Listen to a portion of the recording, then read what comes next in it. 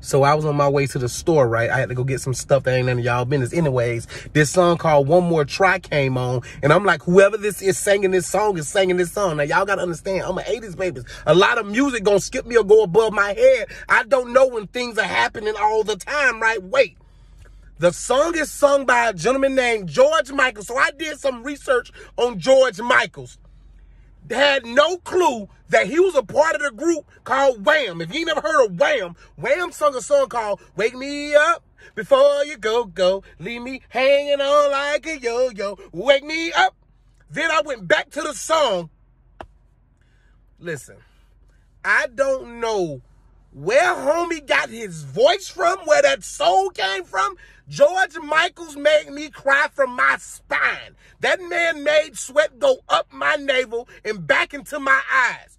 The song is I you can dedicate that song to five decades of women right now. If you got a grandma down your street, dedicate that song to her. She gonna come towards you with them tennis balls on her walker. She gonna lift up that moo and she gonna slow dance with you in bikini bottom. You could dedicate that song to a woman born in the 80s and 90s, early 90s, right now, and they gonna react to it. If y'all ain't never heard one more try, then I Googled. I want to see how he looked.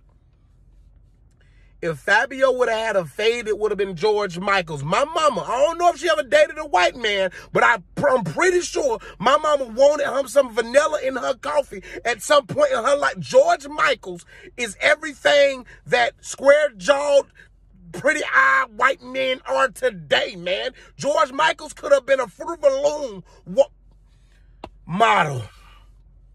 I've never been touched by like, like by like this by a song sung by a man like this song is touching me right now. This song makes me want to call my eighth grade teacher, Miss Kennedy. I think her name was Miss Kennedy and tell her, Miss Kennedy, you know what? I was in nah, I think she was sixth grade. I was in love with you in the sixth grade. That's why I felt because you were a distraction to me. You was a distraction to me. And if you ever want to revisit some things, if you want to get your groove back, if you want to know how it is to climb an African mountain, just let me know. This song make me want to dedicate music to the Teenage Mutant Ninja Turtle girlfriend. This song makes me want to go outside and just start planting stuff for no damn reason. Josh, you don't even got a garden. Who cares? I want to be the rose that grew through the concrete, Tupac.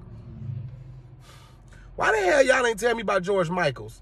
This generation, you know what, y'all? Millennials, we slacking. We got to put more pressure on our musicians to make memorable songs like this. This song gonna stand and can't stand the test of time. This is one of them songs that just can't be covered by anybody. Justin Bieber, don't you touch this song. And I love you, Justin. Ed Sheeran, I need you to get in the studio right now and cover George Michael's One More Try. Don't you do Wham. Leave Wham uh, the hell alone. The Migos, the rappers could cover Wham. I want to see Ed Sheeran. I want to see this song covered by Adele. Oh my gosh, Adele. Adele, please put your vocals and your heartbreak on this song. I'm begging you, baby.